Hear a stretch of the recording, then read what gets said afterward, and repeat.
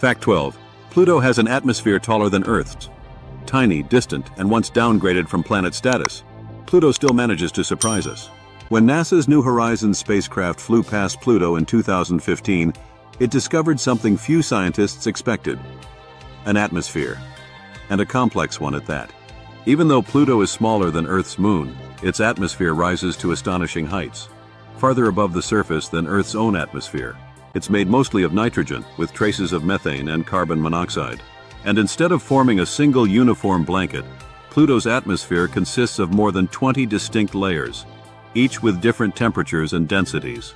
These layers shimmer like glass sheets stacked atop one another, and they can bend sunlight, casting long, eerie glows during Pluto's sunrises and sunsets. But here's what's even stranger. This atmosphere is seasonal. As Pluto orbits the Sun in its long 248-year journey, its distance from the Sun changes dramatically.